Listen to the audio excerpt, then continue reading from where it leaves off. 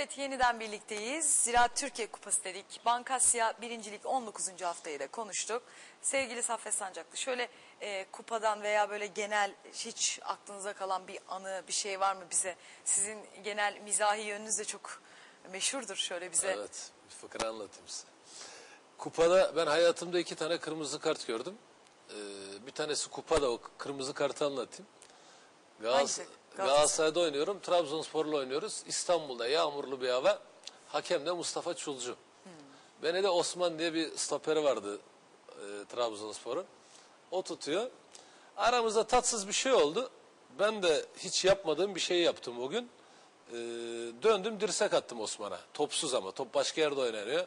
Tabii nereden bilelim? Görmezler Görmezler diye. ama o anda bir e, uygunsuz bir laf etti o. Ben de sinirlendim tabii biraz da o maçın herhalde atmosferiyle hiç yapmadığım bir şey. Dirsek attım Osman'a. Osman yere düştü.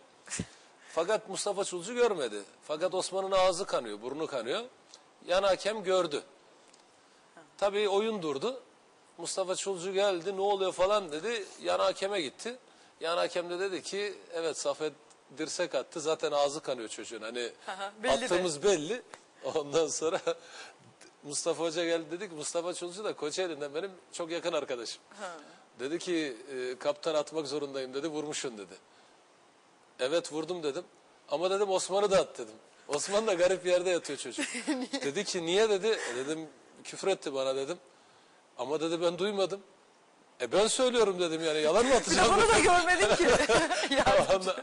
yan hakem tabii benim vurduğumu gördü ama onun hani e, kötü bir söz söylediğini duymadılar dedim inanmıyor musun bana dedim ya. dedi ki inanıyorum ama atamam ki dedi ben de, de duymadım çünkü dedi. Ondan sonra bana bir kırmızı kart gösterdi bir iki maç ceza almıştı. Yani çok kupa- kırmızı kart görmedin mi? Yok hayatımda iki kere gördüm. Biri odur. Bir de e, Malat, Malatya'da Malatya Eskişehir spor maçında e, sarı karttan sonra topa vurdum.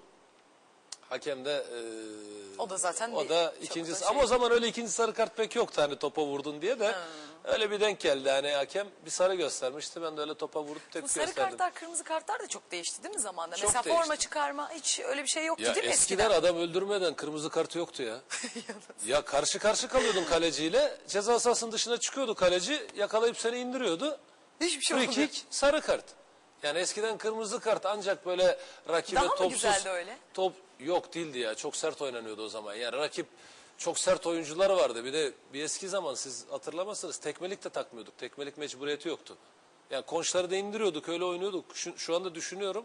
O kadar tehlikeli o vidal ayakkabılarla. evet. Konç şey yok, tekmelik yok, bir şey yok. Bir de Sakatlığın oldu mu Saffet abi senin uzun çok ağır bir sakatlık geçirmedim ben yani Allah'a şükür. Kırık Ee, falan hiç- Kırık e, futbol oynadığım dönemde bir kere e, ayağımın tarak kemiği kırıldı ayağımda. O da milli maçta oldu. Meşhur Doğu Almanya vardı o zaman bölünmeden e, bölündüğü zaman Almanya'nın birleşmeden evvel Matthias Sammer diye bir çok önemli bir oyuncuları vardı. Yağmurlu bir havada top arada kaldı. İkimiz de böyle topa uzandık. Ben topa bastım. O da üstten vidayla Şey, basınca ayağına ayağıma tarak kemiğim kırıldı. Onun dışında kırık hatırlamıyorum. Yani çok öyle ağır sakatlıklar yaşamadım. ben. Şanslıymışsın E, değil mi? Yardım Evet. etti Allah biraz. Bir de Evet. tabii ben çocukken de değişik sporlar yapıyordum.